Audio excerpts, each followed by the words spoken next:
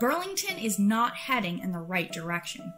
From failed development projects to a failing police department and policies that put the needs of big developers and corporations over working people.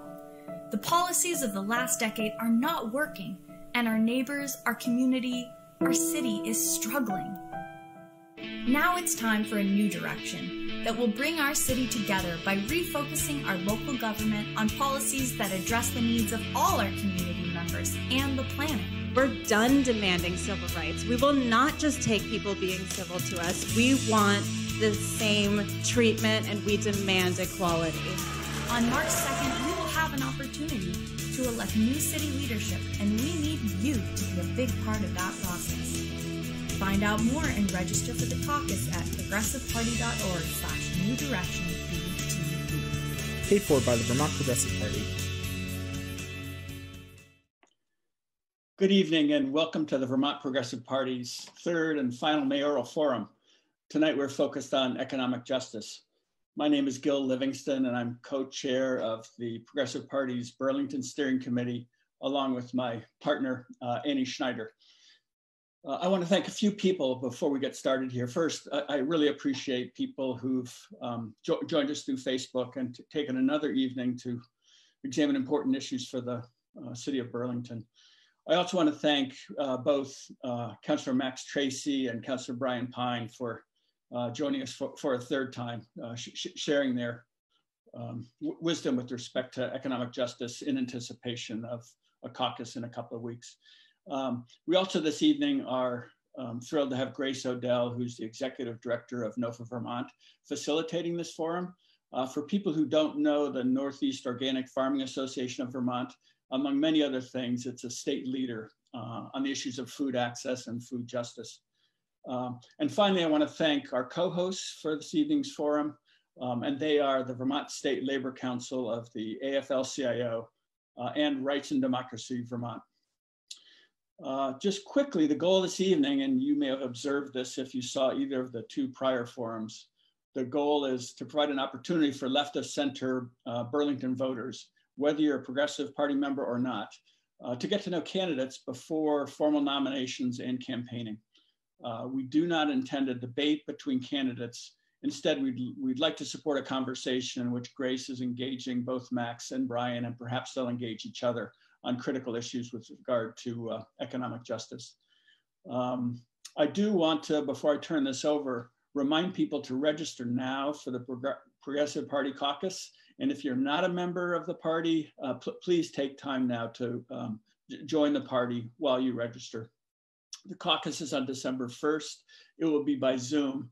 Um, uh, in order to register, go to the Progressive Party website, which is simply lowercase progressive party, all one word, dot .org. When you get to the home page at the top, please select Town Meeting Day 2021 uh, at the top of the page, uh, at which point you'll see again the video which we just displayed. Uh, if you scroll below the video, uh, you will see another link that says register for the caucus. Uh, click that link and there's a, a, simple, straight, straightforward explanation of how to get registered. Uh, voting will happen in the two days following the first. So it'll happen on Wednesday, the uh, second and Thursday, the third. Um, so there'll be a two day window to vote online. Uh, but again, you will not be able to vote or to participate in the caucus unless you register. Uh, with that, uh, let me turn things over to our facilitator this evening, Grace Oedel. Grace? Thanks, Gil. It's so lovely to be here. And I first just want to start thanking the Vermont Progressive Party and everyone's uh, diligent work putting these series together so that we get to know the candidates and get to have a little bit more discussion before the caucus. I want to thank all of you for being here tonight with us and taking the time to participate in our local democratic process. It's so important and it's great to have you with us. I want to thank my partner who's caregiving for our kids. So I'm able to be here during the dinner hour and all the caregivers who are helping out in your houses so that you can be here too. So uh, again, my name is Grace Oedel. I use she, her pronouns, and I'm going to be uh, facilitating tonight. We're, we're focused in on this topic of economic justice. So um, I'm going to state our opening question and then you can, uh, we'll, be titillated by this uh, coin toss that we're going to do to see who will kick us off with an opening remark. So here we go. We are living through the massive disruption of a global pandemic, as well as enormous cultural awareness raising through our national uprisings and the movement for Black Lives. I'm curious to hear if elected mayor, how will you center economic justice in a way that helps us emerge from this period with justice and equity core to all we do as a city, not as an afterthought. I'm gonna flip this coin and who's calling this tonight? Uh, I am heads. That's tails. So Brian, you get to go. Okay. Brian will kick us off. Do you want me to say the question again or you got it, Brian? I wouldn't mind having you repeat that, Grace. Thanks. Sure. So we are living through massive disruption of pandemic, as well as enormous cultural awareness raising through the national uprisings and the movement for Black Lives. If you're elected mayor, how will you center economic justice in a way that helps us emerge from this period with justice and equity core to all we do as a city, not as an afterthought? Great. Thanks a lot. I, I just want to quickly touch on a uh, a question that was raised in the forum last night that I didn't get to respond to, but, but essentially um, the question was, how can I show people that I will stand for my, uh, by my values over siding with people that I'm friends with or I have relationships with? And I just want to make it very clear that my decisions as an elected official are guided always by my, my values, are always guided by what I determine is best for the constituents that we serve. So I do not and my record shows that my votes have not been take made uh, with concern for friends or people who are powerful who I know. Uh, I don't believe that's our role as elected officials. I take that responsibility very seriously. I took an oath, and that oath essentially says I will vote in my conscience what is best for the people of, of my um, of this city, of this community. So I just want to make it clear that uh, specific examples. Hopefully, I'll get a chance to share those. I don't want to use up all the time for this question um, addressing that, but I will I will come up with um, or I will share with you specific, specific examples of how I've, I've led with my values and how I've actually basically gone up against um, both people in power and people that I have maybe friendships or relationships with.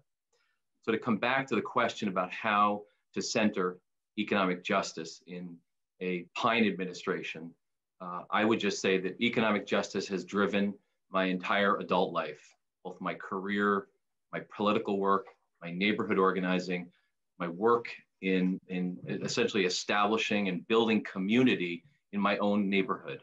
I have lived in the Old North End, uh, the most diverse and uh, economically um, diverse as well as, as culturally and racially diverse neighborhood, not just in Burlington, uh, but, but in all of Vermont, uh, with the exception of our neighbors across the river in Winooski. Uh, and I, I take that as a matter of pride as an Old North Ender for 35 years. And I, I believe that our, our relationships in, to each other within our community need to be grounded in a commitment to um, providing pathways to leadership, pathways to, to future opportunity, pathways that allow people who've been marginalized by our society at the local level to, to ex- expand their, their opportunities but expanding their opportunities in a way that meets them where they are and offers support in a truly collaborative way, not in a paternalistic top down way, but in a way that recognizing that everyone has the desire to live economically independent, self sufficient life with dignity and respect. And all of our decisions need to be grounded in the notion that we as city government need to advance the economic independence of, of low income folks and, and BIPOC community and LGBTQ plus community and all those who've been marginalized by our society. Thank you. Thanks, Brian. Max, would you like me to restate the question for you or do you have it? No, I got it. Um, thank you though. Um, so um, I think that if we want a mayor and if we want a city that um, centers economic justice, we need a mayor who has done that throughout their entire lives. And, you know, like Brian, I've been uh, dedicated since arriving in Burlington uh, 15 years ago to economic justice. Uh, when I was a student at UVM, I led a movement um, for livable wages for all campus workers. And during that time, we did all kinds of interesting things to advocate for and kind of, um, I think, wild things I, I would say to, to, to, advocate for economic justice. It's not just about, you know, I, I, think, you know, economic justice work is certainly serious and, and I think we need to approach it in that way, but that doesn't mean we can't have fun. So we did things like, um, you know, uh, bare necessities marches. Um, we even took over Waterman. We did those kinds of things because we felt like we needed to, to reach people in different ways and have and, and be clear about the, the fact that you know there are many different ways to, to advocate for and to push for economic justice um, you know in our community. Um, that debate kind of evolved over time as the 2008 recession hit and we were fighting layoffs and we were able to actually get the university to, to not go forward with a second phase of layoffs which i think was particularly meaningful. But you know, coming out of that work, I realized that um, you know just forestalling layoffs here or there was not enough, and that in fact we needed that, that working people really need real protection, and so that's why um, you know I essentially decided to get a job with the university and and I worked on forming a union. Um, once um, that drive failed, and so I was in the process of trying to do that again um, when that also failed, uh, or, or, when I was laid off. Um, and i you know that's something that i've centered you know in my work not only you know personally but then also politically i've been you know uh, on the picket line with working people you know bus drivers who are on strike teachers who are on strike marching through the old north end with nurses who are on strike um, you know, and since working at UVM, I've been working with nurses um, uh, day in and day out as part of the Vermont Federation of Nurses and Health Professionals, um, helping to make sure that their voices and their needs, um, you know, their voices are heard and their needs are met um, as frontline healthcare workers on a daily basis. I mean, just today, I was working with nurses um, to uh, make sure that they they're well informed about their um, potential contract uh, extension vote. And I'm actually having to balance doing um, this mayoral race um, while also working with my, you know, my colleagues at the union to make sure that that nurses have um, the representation and have their, their, their rights respected under their contract. So this is something that is part of my daily life now and something that you know I want to bring to the, the mayor's office because what we've seen has been you know an administration that's been far too focused on market rate policies, too too focused on this idea that you know if we just leave it to to the market that that will solve all our problems. And we see that in everything from housing to you know to employment to so many different areas you know of our city. And um, I think you know what we need is an activist city government that's willing to to, to recognize the inequalities created under capitalism and make sure and specifically the inequalities created for for bipoc individuals as well as you know as queer trans you know non-binary individuals in our communities and make sure that we're centering those voices um, and centering our policies more importantly on that and taking bold steps that are uh, a, a, significant departure from the current administration's emphasis on market rate policies that really only benefit a few. We need to be a city for everybody. Thanks for that. So, with those opening remarks, we're going to now move in. I want to dig in a little bit to your thoughts on the housing situation in Burlington. So, as you know, you know, renting and home ownership in Burlington remains extremely expensive and lately has only gotten more so for folks who even make a living wage you know much housing is out of the price range covid itself has exacerbated housing shortages here and income loss. So broadly can you speak to what your plans are to address the housing crisis in burlington? I'd really like to hear both short term during the pandemic and long term and some things you know that would be helpful to hear your stances on are around eviction protections during pandemic. And long term what to what extent do you believe that the housing crisis can be solved through supply side solutions so i'm going to turn it back to brian I will go in any order you want us to, but I believe the order is we're supposed to rotate per question. That's how okay. we've done it. So, all right, back to you, Max. All right, thanks. Appreciate that. Um, so, um, in terms of the the housing crisis, you know, the, the the main thing that we need to do during this COVID pandemic is make sure that everybody stays housed and to have a housing first policy. I think we've shown that we we can uh, that we can do it, and that there's a, a false narrative of scarcity around housing. Uh, it's not necessarily a matter of uh, of if it's possible, but really more a matter of will. And I think that that's been really shown through this COVID pandemic. Um, I think that you know, we, we need to make sure that we're also doing everything we can to, to set a vision for, for a city that is more just and equitable for um, you know for renters um, and homeowners alike uh, coming out of this pandemic. And I think that the the burden you know of of rent in this city is far too high. People spend an incredible amount of their income and an unsustainable amount of their income on rent in this city. And we've seen lots of different policies try to address that um, with varying degrees of success. Um, you know, if we hadn't done certain things like you know inclusionary zoning i think we'd be in a worse position. However i think there are real limitations to the policies that we've implemented thus far and i think we need to look in a new direction that's a little bit more aggressive uh, when it comes to comes to housing implementing directly implementing just cause eviction provisions. Um, that's actually coming to the council on monday. We'll be um, seeing if we can put that on the ballot um, for march and i'm really excited to, to to vote for that on monday and to advocate for that. Um, this is really trying to establish um, more more protections for tenants.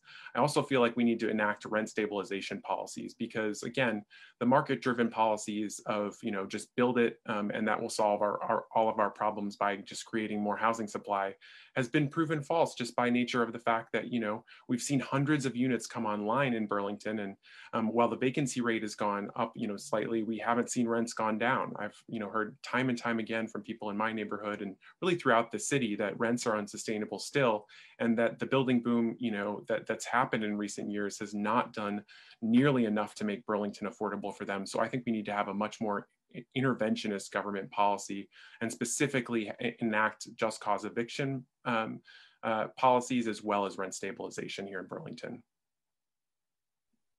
Thanks. Helpful. Brian?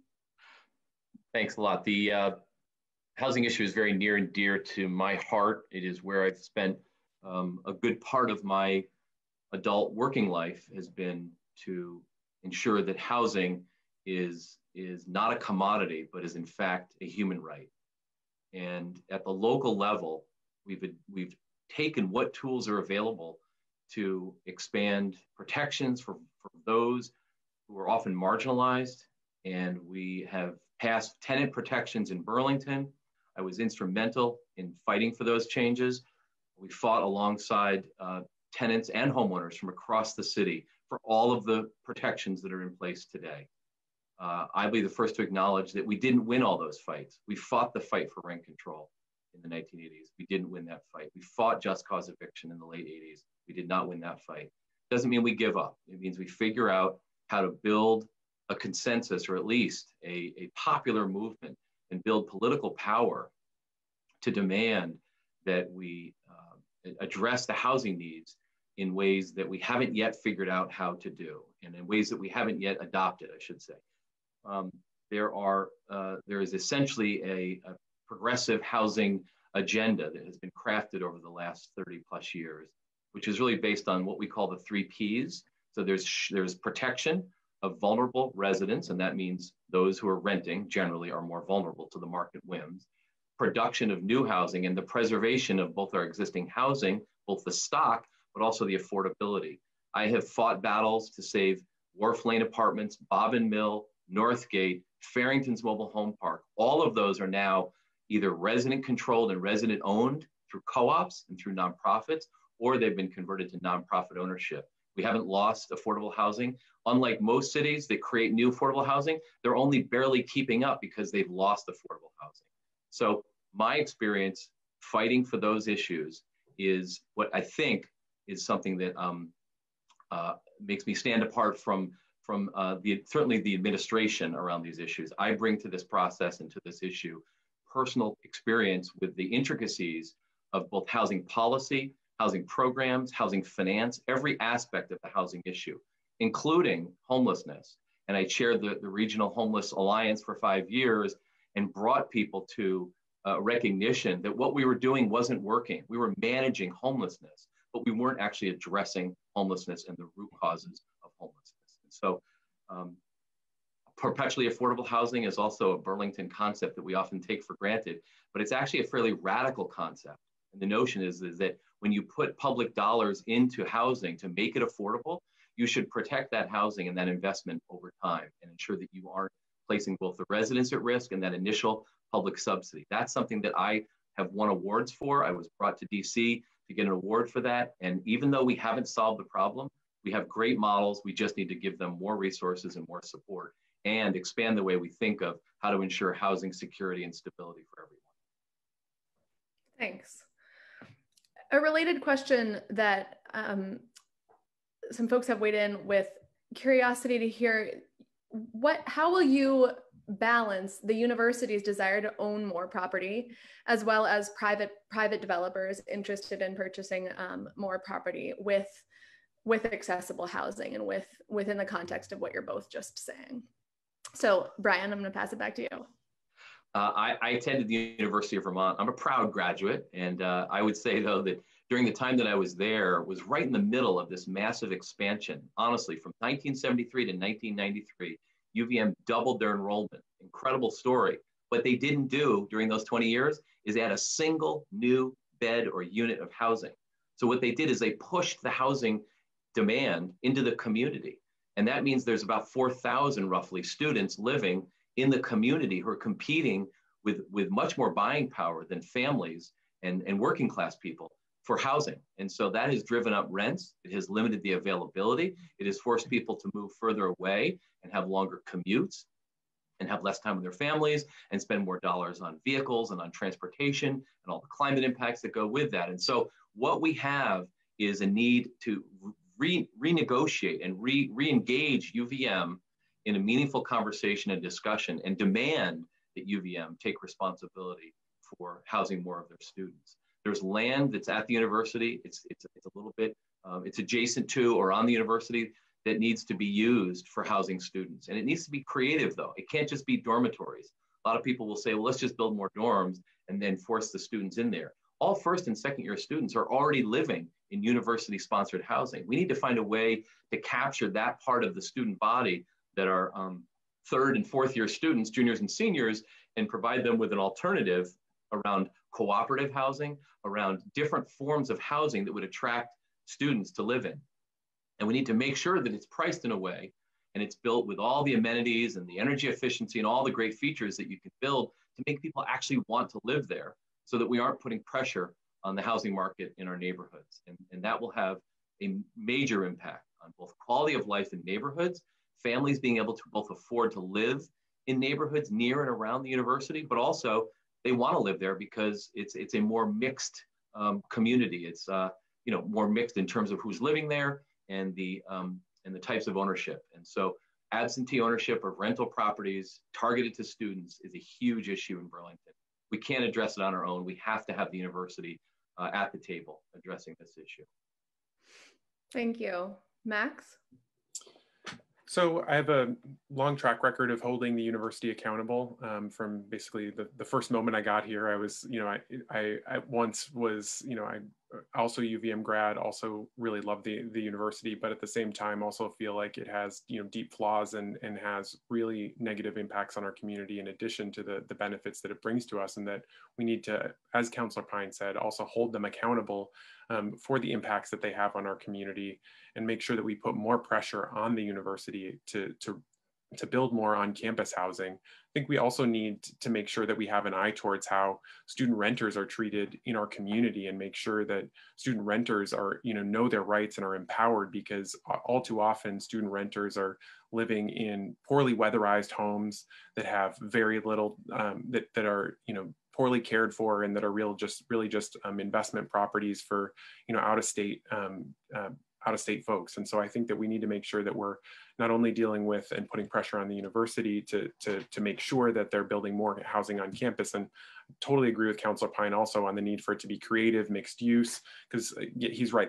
We're just not going to be able to build, um, you know, straight up dorms. Um, I think we sort of see that with some of the additional housing that's gone in up there, where there's been very limited buy-in, um, uh, you know, in terms of that the housing, just because it's kind of off. There's nothing else there other than housing. So I agree with that. I think to the other piece of your question around developers and what we do with large scale projects, I think we need to be very cautious about these large scale projects where they come to us promising huge economic benefits, as was the case with the City Place project. I think we've seen uh, the, the real limitations of that thinking. And I was one of the only councilors to oppose the mall development um, pretty much from the beginning, uh, you know, voting against the pre-development agreement and voting against the development agreement, opposing it at the ballot. And the reason I did that was because it did not include enough affordable housing. It did not prioritize, you know, uh, access for people at all economic levels. It didn't really create that that that um, you know truly inclusive uh, vision for for development of what you know our city can be. And so i oppose that. And um, in so doing tried to make it better. You know i introduced provisions to increase the percentage of affordable housing um, in there um, and and and try to push that that forward. And so I think that when we have big developers coming to us, we need to not throw our support behind them immediately and really try and advocate for them, but we need to make sure that we're holding them accountable uh, and and really making sure that their economics um, that their their economics benefit everyone, not just the privileged few. Thanks for that, Max. And that's a good sort of transition into my next questions which is connected to this topic actually. I want i want to hear a little bit from you about the city place project. As you know the vermont afl-cio and the building trades have been working to provide national afl-cio financing for the city place project. And i'm curious if union financing is secured all of those city place construction jobs would be union jobs at prevailing wage levels that have family supporting benefits levels so if City Place accepts this union financing pr- approach, would you join the AFL-CIO and support the project? I think it's my turn. Um, so I certainly welcome the AFL-CIO stepping up and, and bringing the the idea of union labor into the conversation that was certainly one of the things that was missing from from earlier versions of the project. I also feel like the percentage as i said before of affordable housing in the project was insufficient and unacceptable. And so i appreciate them bringing those things forward. At the same time though you know i think that we need to also make sure that we're protecting burlingtonians and making them live up to what they already promised which was to reconnect the streets that is you know a really open question as to how we're going to do that and specifically how we're going to pay for that because the, the, the TIF financing the tax increment financing mechanism that we were going to use has a limitation or a time and expiration date essentially on it. And so what we need to do is make sure that we're we're holding uh, Devonwood we're holding city city place BTC mall associates whatever you know uh, you know ownership structure they're they're they're they're floating today because um, it seems to change with with every other day.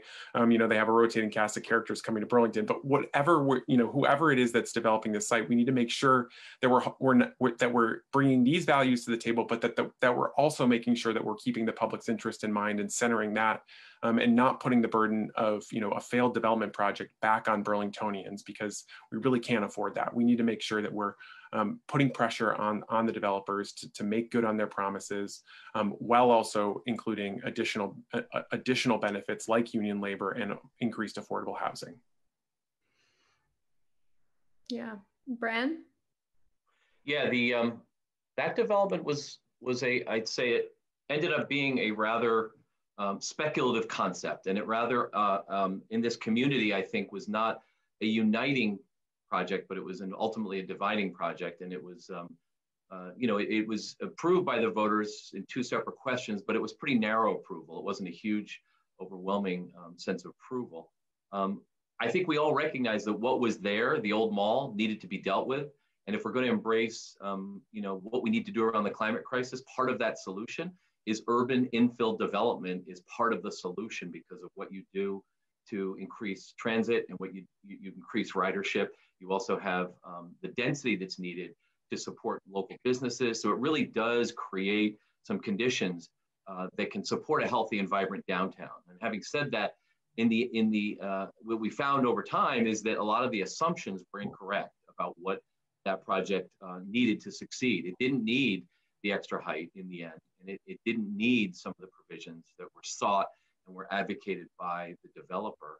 Um, so that means we didn't do as a city and I want to say the administration didn't do full and proper due diligence to make sure that what was being requested was in fact what was needed, but also what was being proposed was viable for the market. When you have commercial rents that are double what, what rents are in the market, it's not going to be a viable project. So there are a lot of, of um, I think, cautionary notes that should have been um, seen from the beginning that weren't. But looking forward, I, I completely agree with um, both both deeper levels of affordability and uh, with the project labor agreement that is being discussed with the AFL-CIO, that is an innovation that um, was an idea a while ago, and now it's finally coming um, closer to fruition. But it's not it's not it's not ready yet. But it's a it's a concept that I would embrace and I would pursue very aggressively. Uh, an additional piece was brought up uh, last week in the wards two and three neighborhood planning assembly was to take the 85 or so affordable units that are required by ordinance and bring down the rents even further through what are called Section 8 subsidies. So it's a rental assistance that comes from the federal government. And while we can't necessarily promise and pledge that because we don't control those resources, as someone who's worked very closely with housing authorities at the local and state level, I would bring the expertise to ensure that if we can, in fact, bring rental assistance to bring those rents even further down for lower income families and folks, we could achieve a greater level of affordability without necessarily putting a, an added burden on whether the project is financially feasible. So we have to recognize there's a certainly a limit there, but I would like to push those limits and find the most innovative solutions to get creating more affordable, deeper affordability for those um, new housing units that hopefully will uh, come online. Thank you. Thanks. While we're on this sort of general topic of employment, I'm, I'm curious also about the reality of being small business during the pandemic. And I'm curious to hear, as mayor, uh, what would some increased supports, investment, or relief for small business development in Burlington you would bring? And particularly interested on hearing um, how those small business development incentives, programs might uh, speak also in the context of the uprisings, you know, center marginalized and uh, BIPOC and women and femme business owners. So, what are your thoughts on? I think it's my turn. I think it is. All right. The um, the, the, the challenges that are faced by uh, businesses in our community that are owned by those that we have marginalized as a society are, are unique and actually I think um, need to be dealt with in a, in a unique way. More support is needed around figuring out, um, you know, business plans, strategies, um, if there's a desire to grow the co- their local companies in this way, we need expertise that knows how to look at you know strategic business planning issues. That is something that I've done across my career and continue to do for organizations that are looking for that type of assistance. Um, BIPOC-owned businesses are something that we have uh, a directory right now through the Church Street Marketplace. They actually put together a directory of BIPOC-owned businesses, and I would urge everybody to take a look at that and if you do any, um, when you do shopping for any purpose, whether it's the holidays or personal needs, I hope people will look at that as a way to support those businesses who are already here today.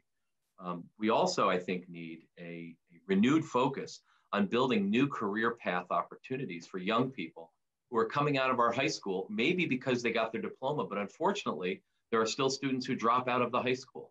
And I worked in a program that Mayor Sanders started in the 80s called the Burlington Youth Employment Program that provided specific training in a whole range of skills. Actually, we had a garden project down in the Intervale doing organic gardening. We had a recycling program, and I supervised a crew that did housing renovation in the Old North End. And this was a local initiative that Mayor Sanders went to the state and got state dollars to help subsidize the wages for the young people.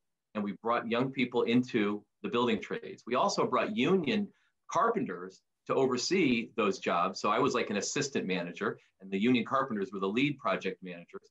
And what it brought was um, young people and experience with learning the trades, learning about safety, learning about all the issues that you need to enter this field, but also learning about the power that you get and the and the benefits that you get as a family to have living wage jobs and have benefits if you are in a union. So we tried to introduce young people both to the employment opportunity and the benefits that can be gleaned by, uh, by being part of a labor union. So that was a unique, I think, approach that, that Mayor Sanders brought, and I, as mayor, would bring something like that. That's that's my focus. I would also look to um, uh, uh, agreements that when we provide any assistance to a developer that's building commercial and is going to create some employment, that we have workforce development requirements that they actually provide job training opportunities, very proactive towards um, new Americans and to BIPOC community members to bring them into the workforce. Rather than just provide TIF financing and say we're done with it, we need to require from them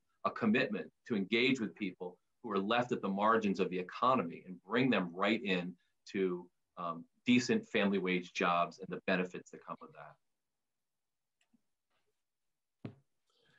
So in, in terms of small businesses, I think we've seen uh, businesses be uh, really going through a, a, a, time of tremendous strain in our city. And I think that um, we need to make sure and, and that we've seen, you know, city staff really step up in a lot of ways, but that, you know, they don't, that under this administration specifically what we've seen is, um, you know, just a real failure to understand the transformative power of CEDO. Um, this is an office that came about under Bernie and that has done tremendous work in its history, but that has really, in my my opinion, you know, been um, operating on fumes. And I think it's because of the lack of focus and, and investment from this administration. There have been tremendous people working there, but they're doing so um, under very challenging circumstances. And so I think we need a mayor who you know, can work with and, and resuscitate and understand CEDO and specifically engage, you know, really expand this neighborhood scale focus. I think one of the opportunity costs that we see uh, under this administration is that when you focus so much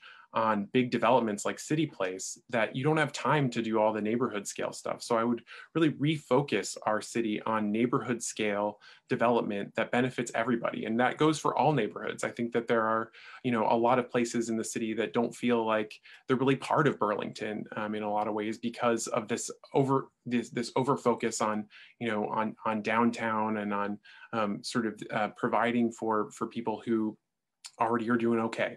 And, you know, I think we also need to make sure that we're giving businesses their support. One of the things I feel like we've been seeing uh, happening in the, you know, in the Old North End is that BIPOC-owned businesses have been, you know, under threat of eviction. Um, and you know, one of the one of the awkward things about kind of running against Council Pine is that we work together really well on a lot of things. And one of the things we've worked together and collaborated on has been providing support for BIPOC businesses in the neighborhood that have been under threat. Um, I think back to you know last spring when um, Redstone was going to evict the the Asian the Asian market, um, and that was going to be a real a real loss for our neighborhood. And, and so Councilor Pine and I stepped up and you know worked together on that. And I think that that's what the kind of leadership that's needed, you know, in terms of our city is that we're going to bring that kind of thing to to, to the city of Burlington, um, and really I, think that one of the things that I've realized in that is that we need to really provide a path to ownership for BIPOC business owners because when you're just renting that you're at a tremendous disadvantage. You're at you're you're really on on shaky ground a lot of the time and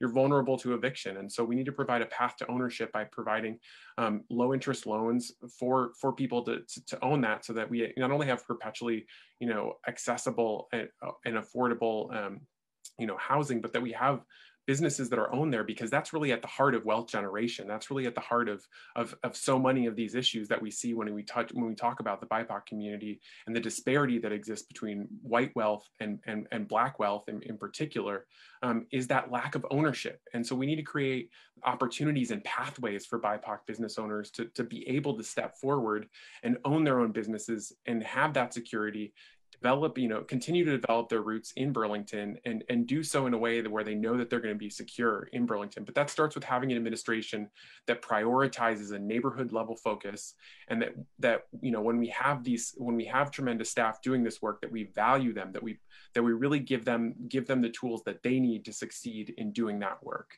And that's really what I'll bring to, to the table uh, as uh, you know as mayor is that that emphasis on um, making sure that we're not just you know thinking about you know those who have but really you know all of the different businesses in burlington and trying to bring a diversity to, to those businesses so that people's needs are really met in burlington as opposed to you know having um, uh, uses and businesses that really are only accessible to certain classes in our city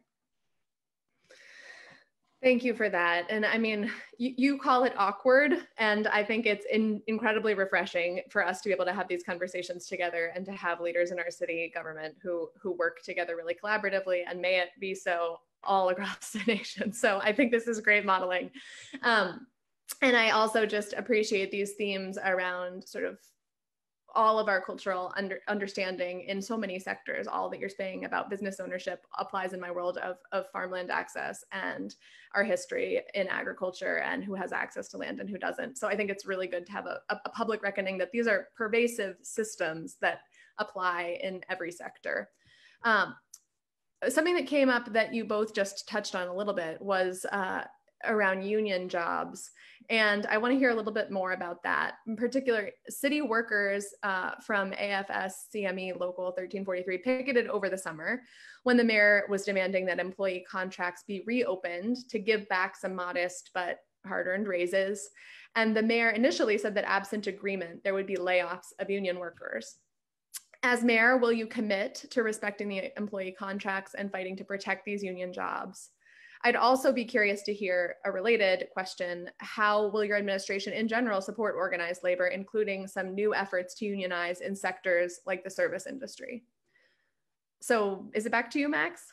Uh, yeah, I think so. So um, as a union organizer, certainly um, doing this work day in and day out to represent nurses up at UVMMC, I, I fully support um, you know union members um, and exercising you know their their their collective bargaining rights. I think that there is you know that our city workers uh, form the backbone of, of, of, you know of the city and do such important work. And I've um, one of the one of the, the best things that I've ever gotten to do, one of the, the most fun things I've ever gotten to do uh, as a city councilor was to actually get in a plow truck with a city worker last year during one of those big dumps in February. I think it was at the beginning of February. Um, this unbelievable city worker, Laurent, um, it, who has been with the city for decades. Uh, we got in this, got in his his truck and drove around the city, plowing the city, and I just got a real sense for for what their life is like. You know what what his day in and day out sort of experience is like. And so I think that that's the kind of uh, direct outreach. That's the kind of mayor that we need. Someone who's willing to go to DPW and sort of see what um, you know what the workers at DPW uh, experience. Um, you know, I think that we need to to also really make sure that we are um, providing, you know, continuing to provide um, full, you know, full employment and doing everything we possibly can to avoid layoffs and furloughs, because that um, will only further destabilize families um, and, and, and, and workers, you know, in our community um, who are, again, doing this tremendous work for the city. The one caveat that I will say, however, is that we do need to, to re-examine and, and, and, and work on the police contract because there are real issues with how officers are disciplined. I think that we've seen the, the, the limitations and the really honestly the, the, the, the failures within that contract. And we need to, to, when that contract is up for renegotiation, we need real change around how officers are disciplined and how they're held accountable in that contract so that that's not an impediment, but that that's really a tool for us to hold officers accountable especially uh, in in in, in uh, incidents uh, in use of force incidents because that's where I think so much of you know uh, so much of the failure of that contract has been. So we need to make sure that we do everything we can to renegotiate that contract and, and really prioritize um, BIPOC folks uh, and and make sure that we craft a public safety system that has real accountability in it because that's going to be that that, that that's going to be crucial towards making people uh, able to you know feel safe and not only feel safe but actually be safe in our community. So i think that there's um, you know that that's an important caveat or an important element that i want to bring into the conversation when we talk about these contracts is that you know that there is this other element which is the police contract and we need to address that and we need to do so in a, in you know in a concerted fashion the next time it's up for renegotiation. Thanks max. Brian as as we have found, there's not a lot of daylight between us um, on these issues right here. So let me at least address one thing that I think is deserves at least mentioning because uh, someone posted a question which I just saw um, about the African market on the corner, which got an eviction notice, and it was a 45-day eviction notice. And the new owners of the of the building um, decided they would like to uh, perhaps renovate and occupy the space. And um, unfortunately, there's not a lot of legal protection in that case. So rather than, um, well, well, my approach to that as an elected official was to reach out directly to the um, BIPOC owned business by a BIPOC woman to reach her directly through um, through my own channels to find out what support are you looking for? What do you need in this situation? Not what do I think should happen or what maybe would look great in terms of like um, sort of an organizing strategy around attacking the owner of the building. I think that what the, what's happening here is clearly a sign of what happens in an economy where the ownership is everything. You get to tell people what you can and can't do. But I wanted the business owner to be centric here. And, and the response was, I just need help finding a new place and getting another extra month. And so in the end, they got an extra month. They have gotten help from the city um, to find new space. And I sought out some other assistance, financial assistance from the city that will be flowing to this business owner as well as um, through an incredible community organizer, Melissa Kane, we have a GoFundMe effort that will bring resources to a BIPOC-owned business. Um, so I just want to be clear that you know we together can do amazing things when we care about uh, folks in this way, and I have certainly proven that I can do that. Uh, on the issue of union contracts, um, I'm a firm believer that when you negotiate, you give something up usually, and you and you get a little bit, but you give up stuff at the table. And when you give up stuff at the table, you shouldn't be expected to then reopen to be asked to give up more. That that that is a fundamental concept, um, fundamental concept of collective bargaining. We have, I think, five bargaining units in city government, and in each instance, I would be a mayor who would support the rights and the process of collective bargaining in a very meaningful, respectful way. I would bring back the idea that Peter Clavelle advanced, which is labor management and bringing labor and management into a collective process to identify areas for efficiencies and areas for cost savings that avoid having to reopen contracts, but instead achieve you know, financial outcomes that, that keep the level of service and the level of employment and the level of wages and benefits, but providing more cost effective services to our citizens. That's, I think, the responsibility of leadership. And that's the type of leadership that we need to get to get back to in Burlington. So I would I would bring that focus. I would bring a labor management focus. I would always honor contracts with collective bargaining units. That's something I feel very strongly about. Thanks, Brian. I'm I'm wanting to turn now to the city budget and the process around the budget. You know, we're coming up on likely uh, a reduced budget, uh, and I'm curious to hear what kinds of cuts you might anticipate making given reduced federal dollars and potentially reduced property tax revenues. I'm also curious if you would be interested, open to using participatory budget making processes so that there could be more uh, democratic process in the budget experience for the city. So I'm going to turn it back to you, Brian. Absolutely. We have, uh, I think we have a proud tradition in Vermont of direct involvement in, in local government and in democracy. We have direct democracy through this thing called town meeting. What we haven't really figured out, though, is how to make it more meaningful through the course of a longer period of time rather than that one day. And we have neighborhood planning assemblies as one way to do that. I think we need to completely rethink the way we engage citizens. We have we hold meetings in buildings. We hold them at dinner time. Sometimes it's helpful or, or convenient for people, but a lot of families will come to our community dinner and then they'll walk away, uh, leave to take their families home because we don't provide adequate childcare, because we don't offer enough support for all types of people to participate in our processes. So I, I, embrace the idea of participatory budgeting. I have some familiarity with it. And in fact, one of the things that Mayor Sanders brought to Burlington was take this federal resource that comes to Burlington in the form of a block grant called the Community Development Block Grant and let the citizens decide how to spend it. In most cities, that program is called the mayor's program because the mayor gets to decide exactly where the money goes. And it goes to things like tennis courts and basketball courts and sometimes even golf courses. But in Burlington, we decide to democratize the way we allocate those resources so that we can be sure that the purpose of those funds is, is being uh, honored. And the purpose is to alleviate poverty. So rather than the city figuring out how to spend those dollars, we ask the community to do that. So in my mind, that is a great model for how to approach the way we budget. But we need to accept an idea that, that meetings and going to meetings isn't necessarily the most inclusive approach. For single moms, going to a night meeting, I don't think it's really an option for a lot of single mothers in Burlington. And so if we're going to think about this, we need, in my mind, an outreach strategy, an inclusion strategy, and citizen engagement needs to put those voices in the center of what we design. But when you think about folks who are left out, first, rather than as an afterthought, oh, let's get childcare at the last minute, or oh, let's offer some food. Let's make it really a core part of how we approach the way we govern so we can bring people in in a meaningful way and give them support to be engaged members of this community. Because when we have community engagement around budget decisions, around any of our decisions, people get a greater sense of, of togetherness, building community, of belonging, and that's really what we all want. I think that's what people really want in their community. They want to feel welcomed. They also want to feel connected to each other. So when we have connections with our neighbors, it feels wonderful. What we need to accept is some people don't have the ability to participate the way we've defi- defined participation today. We need to completely rethink and revamp the way we um, enable people to participate in local government and in local government decisions. So some of the ideas for doing that, uh, now that we've gone through COVID and seen, We have the ability to provide uh, certainly online access for people, but that's only for those who have the means. They have the technology, they have the bandwidth, they have the internet, they have everything. We have, I think, an obligation to, to get innovative, really creative about enlisting the voices and including the voices of people who aren't already at the table. And that would be a focus of mine as, as your mayor.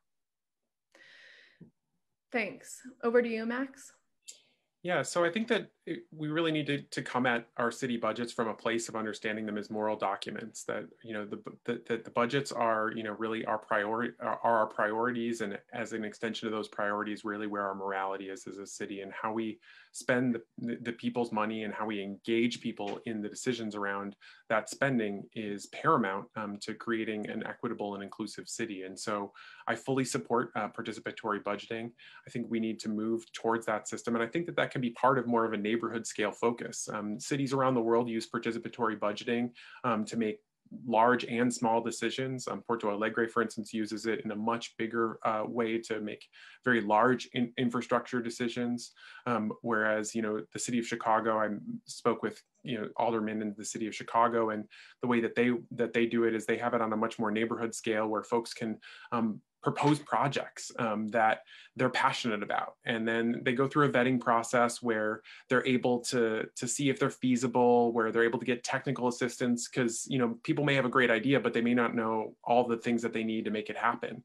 And you know then you know if a project is able to, to be determined to be feasible then elevating that to the ballot in march and giving people a real ability to vote on that on that project if that and and weigh in. And you could see i think some really exciting civic engagement happening around and campaigning around different projects. Um, and you know um, i think that that could be a, a real benefit. You can even have uh, carve outs um, for specific areas. You know, you could have um, specifically areas, you know, focused on climate, areas focused on racial justice. You could um, really, you can be get really creative with participatory budgeting, but we really need to start that process.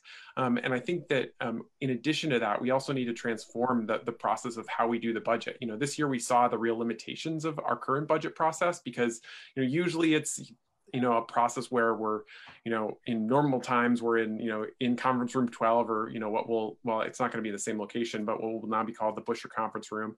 Um, and we just like sit there and have these conversations and you know not that many people come to that because even though you know it's posted and whatever because it's not accessible. We need to take the budget to the people um, and let them know how specifically their dollars are being spent in their neighborhoods and how the budget actually impacts them um, and do so in a way that's not just you know spreadsheets and numbers but that really makes it accessible to, to people um, you know from different cultures that makes it accessible uh, to people who have you know who, through the multiple intelligences because you know not everybody is a you know a numbers whiz. We need to have ways of making the budget real to real people. And I think participatory budgeting combined with bringing that neighborhood scale focus um, is going to be crucial. And that's something that, you know, I, I think we need we need uh, to, to change in the city of Burlington.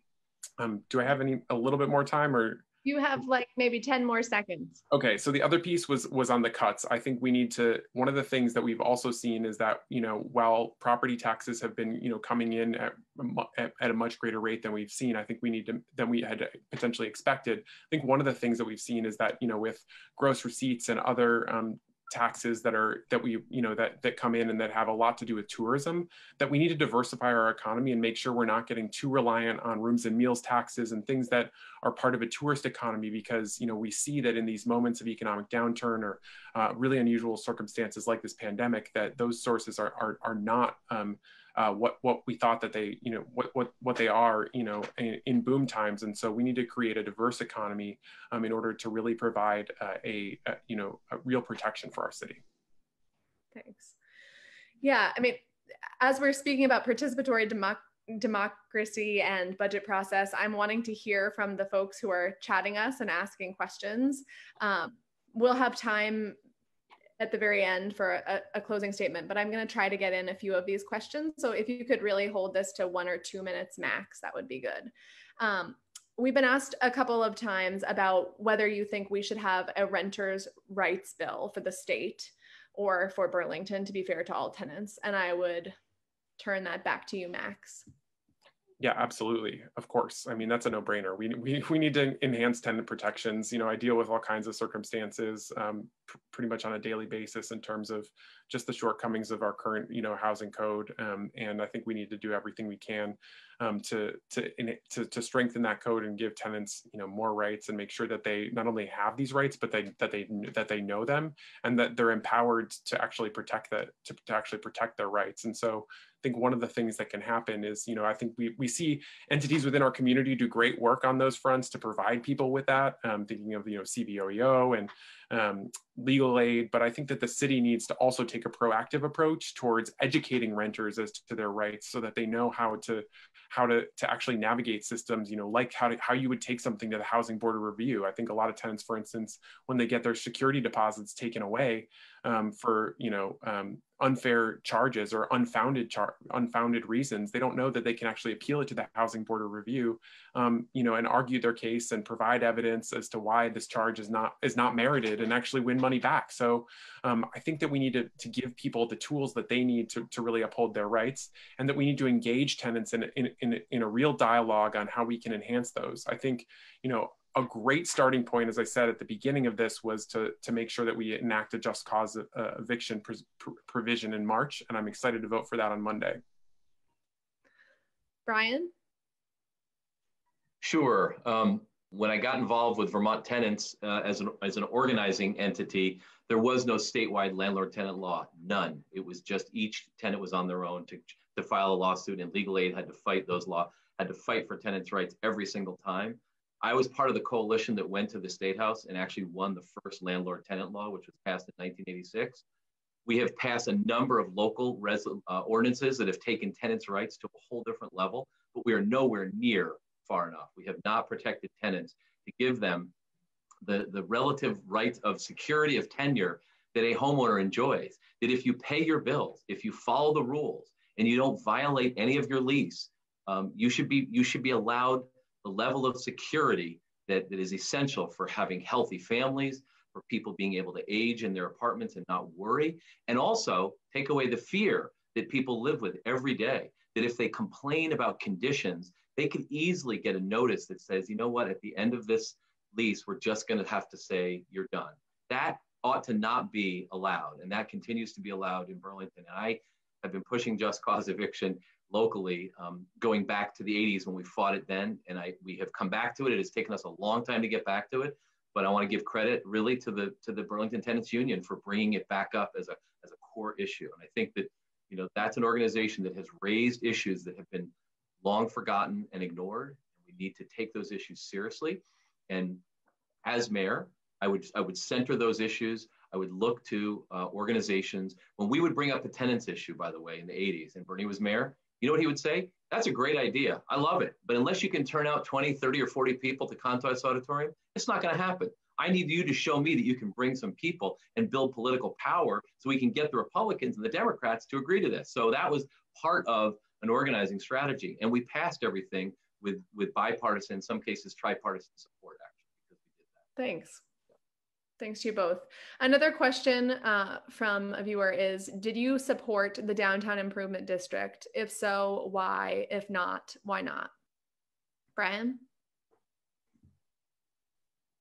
I did not support the Downtown Improvement District. It was a, um, it was sort of a. Uh, I, I believe it was a perhaps well intentioned, but it went too far in turning what is essentially a public asset and a public resource into a privately controlled and, and ultimately privately governed um, city street. And it, it, made no it made no sense to me that after investing in the in the late 70s, early 80s into creating the marketplace with public resources and into continuing to maintain that marketplace with a combination of both fee payers and, and uh, public resources that we would consider converting that over to a private entity. It just it didn't meet Burlington values. It didn't it was not consistent with Burlington values.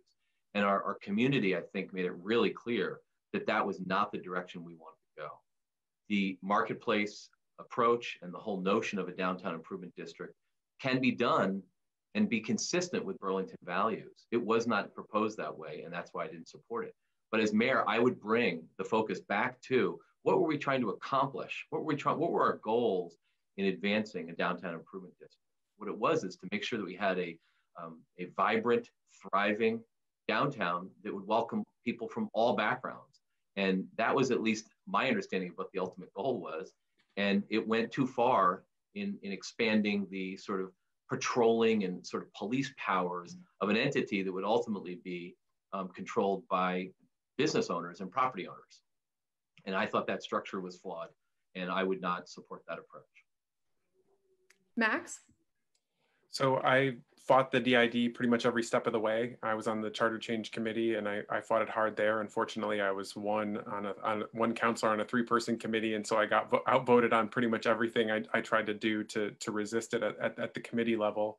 Um, I resisted at the full council and then, you know, really encouraged people, um, you know, throughout the city to vote against the DID because it really would have tilted the power tilted power too far in, in, you know in the direction of private interests in, in, in our downtown and would have given would have created a you know where there is currently you know a public governance structure would have taken that that governance structure and privatized it. And in so doing would have also provided increased in, increased power um, you know over our downtown to those business owners, to those property owners to make thing, you know, to, to do over infrastructure decisions because basically what was going to happen is that they were going to contribute money and then by nature of that money they were they were essentially in my view um, you know going to be able to buy influence or buy power as to how downtown was going to look and how downtown was going to function and what kinds of services would be provided where. And the public would have been largely left out of those conversations. We wouldn't have had as democratic a conversation. And you know i'm really going to be hesitant. I, I, won't embrace a, a you know a, a, a, a, structure like that. I think we've seen, you know, an administration that again has has tilted way too far in the direction of private interests um, that, you know, under capitalism, in my opinion, already have tremendous tremendous power and, and influence over our city and how how decisions are made. And so to further that that process would be, you know a, a, disaster for burlington so we need to make sure that we're doing everything we can to empower the, the, the empower the people to have control over their downtown and to make sure that downtown works for everybody because if if, if only you know the, the business and property owners are the ones that are driving the conversation they're going to drive downtown towards their interests. When we include everybody that's going to be a very different different looking downtown because um, that's going to include a lot of different priorities and that will ultimately not only be a more vibrant downtown but also a more sustainable downtown for for years to come. Thanks so we we just got a question that i think could be a helpful um, a helpful closing question prompt. So you're going to have some time to make a closing statement on the topic of economic justice, but we've just had someone who's watching ask, what would be your vision for Burlington in 10 years, given everything goes well for economic prosperity for all people, regard, regardless of race, gender, sexuality, religion, ability? In other words, what does daily life look like if economic justice is really centered? And um, I, I offer that to you. I know that you want to make general closing statements about economic justice, but I think that hearing a little bit about what is your vision for where we're going uh, as we close our time together would be helpful. And so I, I have to switch it from who went first at the beginning. So I'm going to let you take it away and we'll each have a few minutes to speak to this. Sure. Um, so I think I, Brian, you went first, right? yeah, yeah, I think I think that's what it was. Okay, so so you know when I think about you know what Burlington Burlington has you know for years had was you know i think a city that was leading the way. It was a city that you know was was winning awards that was was really at the at the forefront of of small american cities. And you know unfortunately we've we've fallen back on on that. We we really aren't at the forefront on in so many areas. And i think that's because we've you know we haven't kept our eye on the ball on these these bread and butter economic justice issues. We've let you know runaway housing costs take over and really detract from that that that viability and do in so doing making you know, uh, creating, you know, and exacerbating um, uh, uh, additional disparities and you know additional gaps for for people of color in our community. And and and so I think that what we need to do as a city is, re, you know, re-embrace that that role of government that government can take an activist position um, when it comes to when it comes to burlington that it can intervene to create prosperity um, for everybody that it can you know that it can intervene to to to, to uh, you know cut you know to to address the the, the externalities to address the, the, the real flaws with that within a capitalist system and that we can that that in so doing we can we can really create prosperity for everybody. So burlington you know in 10 years that i want to see is a burlington where people aren't spending you know 40 50 even more than that 50% of their paychecks on on housing. Um, you know it's a burlington where people aren't working um, minimum wage service industry jobs, but where everybody has a livable wage job. You know, it's a city where, you know, we've also increased the, you know, it's also what kinds of jobs. So making sure that we have um, you know, uh, opportunities for people to be part of a union, and we have, a, you know, a much a, a much more vibrant, uh, you know, labor movement in our city that that not only includes, you know, existing unions and, and grows those unions, but that that creates more opportunities for people to collectively bargain in our city, um, and really to, to to even out that that balance between management and, and labor.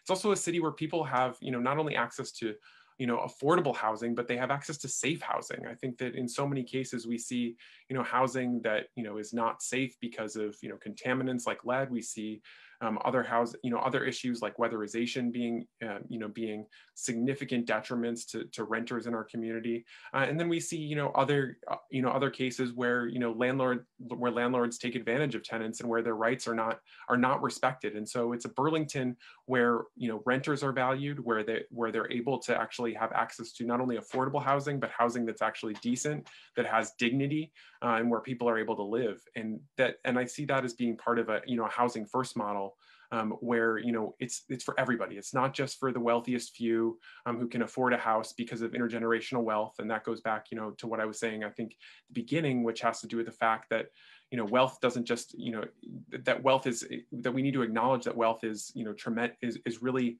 um, accumulated uh, along um, very disparate racial lines. And white folks have tremendous wealth in our community. People of color do not because of you know the, the legacy of systemic racism you know in our community. So we need to we need to confront that legacy by having a more interventionist city policy that includes things um, that really uh, address some of the you know some of these these externalities that we see from capitalism. We need to enact rent control just cause eviction um, policies making sure that we're um, doing everything we can to, to empower business owners, not relying too much on it on a tourist economy. All of these things um, are, are, are going to be real under you know a, a progressive administration. If we if we take a chance, we we you know are willing to accept uh, that you know are willing to to take a you know to take a different path than than than the status quo. I think we can find ourselves in a very different Burlington. And you know my experiences over the last 15 years, you know, fighting for economic justice, fighting for livable wages, fighting you know for for unions, um, fighting against big you know big predatory developers. All of those things will inform this approach. And will I, I, I, think be instrumental in in in, act, in actualizing you know a more just and inclusive Burlington um, that that has um, that that is more economically equitable for all residents. Thank you, Max. Brian. Great, thank you. This has been um, just an incredible experience, really. Um, I just want to thank everybody.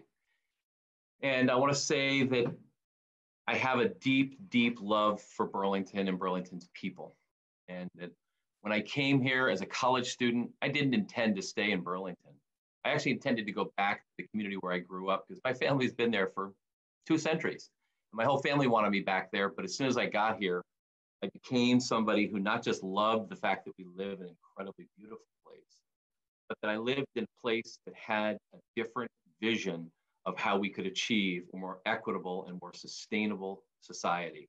And my my experience as a young person at, a, working or uh, working with the community and alongside some of our early progressive leaders taught me incredibly important lessons around how when you lead and, and guide with your values when you lead with the with the concept of love actually as part of what you bring into this process of self-governing you know, democracy is about self-governance. And if we don't lead with our core values, and if we allow for conveniences and, and favoritism towards interests that we think are the interests we should be advancing, what we forget to do is to take care of our neighbors and our friends and everybody around us or people we've never met and may never meet.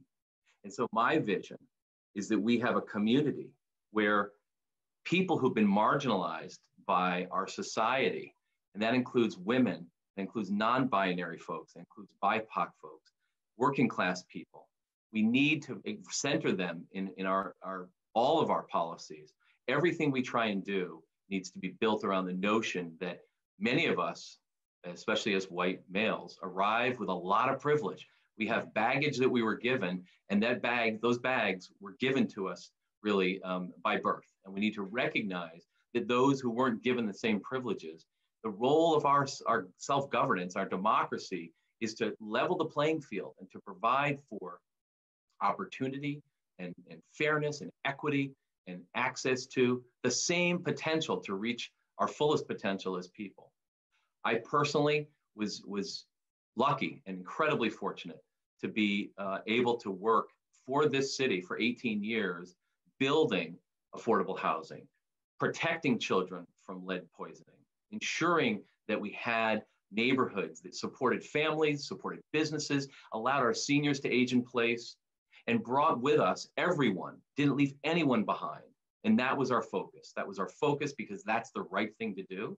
When we lead with our values, when we're guided by our hopes and not our fears, and when we bring people who are often forgotten or left and pushed aside into the process, but not just into the process, but into the core way that we think about our role as government, that's when we can achieve our full potential. That's when we can build a truly inclusive, welcoming community where people have a sense of belonging.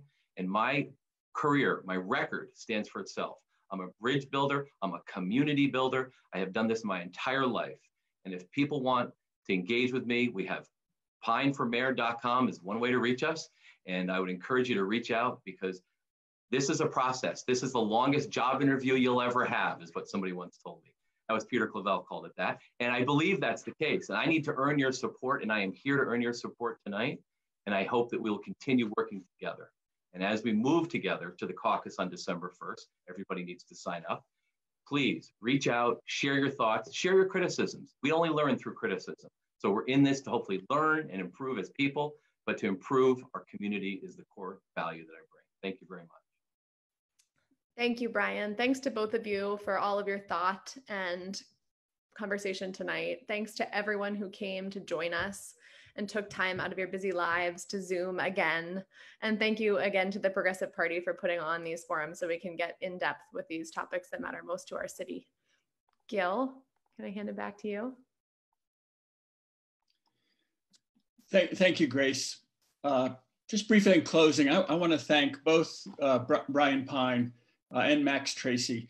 Uh, you, you, know, you are both compelling progressive leaders who would serve us well, and we ought to all be proud that you're, you're, you're both interested in representing the Progressive Party in the upcoming campaign.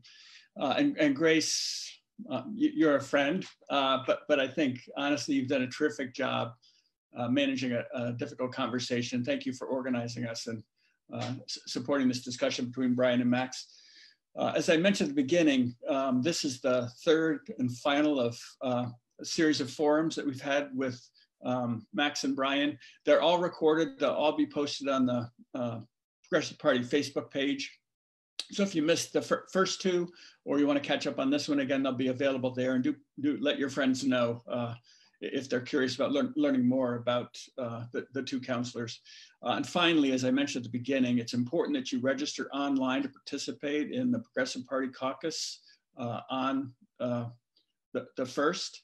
Uh, and information is available on the Progressive Party website. You can, you can register there. Uh, and, and voting in that caucus will occur online in the two days following the caucus, which is on Tuesday the 1st. Uh, so th thank you again. I appreciate uh, everybody uh, for participating and for, for folks sticking with us uh, through Facebook to uh, listen to this compelling conversation. And, and please have a good evening. Take care.